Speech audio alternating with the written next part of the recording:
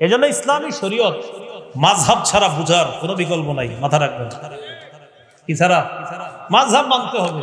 আমি মাঝহাব মানি কেন? কারণ কোরআন সুন্না এখন আমি ভালোভাবে বুঝি না, তাই মাঝহাব মানতে হয়। আর যে মানে না আমার একটা হুজুর, না মানলে সমস্যা আছে। আমি আপনি হয়তো কোরআন সুন্না অনেক বেশি ভালো বুঝেন, এই জন্য মানেন না। আমার যদি কেউ বলে, আপনি কেন মানেন আমি কোরআন শুননা এখনও ভালোভাবে পুরোপুরি বুঝি না। অনেকে কয়, মূর্খ। এই জন্য মাজাব মানে আসলেই ঠিক কইছেন, মূর্খ বলেই তো মাজাব মানে। যদি সব জানতাম, তো তো দরকার ছিল না মানা আর যিনি বলে মাসাল্লাহ উনি তো সব জানে দেখেই উনি মানে না। এটাই আমরা ভালো ধারণা রাখি। যিনি কিনি যিনি কে জানেন? যিনি হলো সে যে গত সাত দিন ধরে নতুন করে পড়াশোনা করতেছে কোরআন, হাদিস নিয়ে। এই তিনি এখন মাজাব মানছে না। আর বলে, আপনি মানেন না কেন? তো বললাম, আমি তো ভাই এখনও পুরাপুরি কোরআন শুননা ওই অন্যের সাহায্য ছাড়া বুঝি না। অন্যের সাহায্য মানি, অন্যের মতামত। অন্যের মতামত মানি কয় অন্যের মতামতের আরবি কি? হুজুর কয় অন্যের মতামতের আরবি হলো মাঝহাব। আচ্ছা তাই নাকি? হ্যাঁ ইমাম আবু ইউসুফের মত মানি ইমাম আবু ইউসুফের মাঝহাবে। ইমাম মোহাম্মদের মত মানি ইমাম মোহাম্মদের মাঝহাবে। ইমাম আবু হানিফার মত মানি ইমাম আবু হানিফার মাঝহাব। আচ্ছা হুজুর মাঝহাব কি? মাঝহাব হলো কোরআন সুন্নার সুবিন্যস্ত একটা সংকলনকে মাঝহাব বলা হয়। বুখারি এটা কি আবিষ্কার না সংকলন?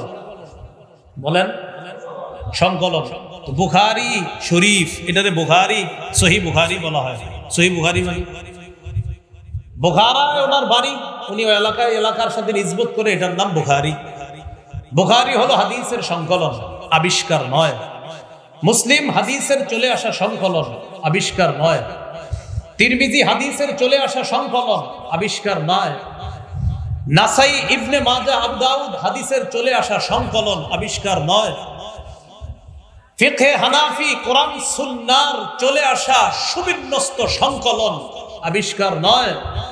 ফিখে মালিকি, কোরআন, সুন্নার চলে আসা সংকলন আবিষ্কার নয়। ফিখে হাম্বলি, কোরআন, সুন্নার চলে আসা সুবিন্যস্ত সংকলন এটা আবিষ্কার নয়। ফিখে শাফিঈ, কোরআন, সুন্নার চলে আসা সংকলন আবিষ্কার নয়। যেমনি ভাবে বুখারি এটা সংকলন, এটা আবিষ্কার নয়, তাই বুখারি বেদাত নয়। মুসলিম, এটা সংকলন, এটা আবিষ্কার নয়, তাই এটা বেদাত না। নাসাই, আবু দাউদ, ইবনে মাজা তিরমিজি, এগুলা সংকলন, আবিষ্কার নয়, তাই এটা বেদাত নয়। তেমনি ভাবে কোরআন সুন্নার সুবিন্যস্ত, সংকলন চার মাযহাব এটা আবিষ্কার নয় তাই এটা বেদাত নয়। যারা বলবে ফিকহে হানাফি বেদাত বুখারীকে বেদাত বলতে হবে। যারা বলবে ফিকহে মালিকি বেদাত, বুখারীকে বেদাত বলতে হবে। যদি বলেন না, বুখারী তো সংকলন, তো ফিকহে হানাফিও সংকলন, মুসলিম সংকলন ফিকহে হানাফি সংকলন, সেটা যদি জায়েজ হয়, এটাও জায়েজ। না বুঝা বলো সংকলন, আবিষ্কার আর সংকলন, দুই বাংলা মনে রাখবেন, সারা জীবন অনেক কিছু সমাধান হয়ে যাবে। এই জায়গায় আমরা ভুল করি। সংকলন সংকলন আর আবিষ্কার। বুখারি, এটা সংকলন, এটা আবিষ্কার নয়। ফিখে হানাফি, এটা সংকলন, আবিষ্কার নয়। কোরআন, সুন্নার সুবিন্যস্ত সংকলন, মনে রাখবেন।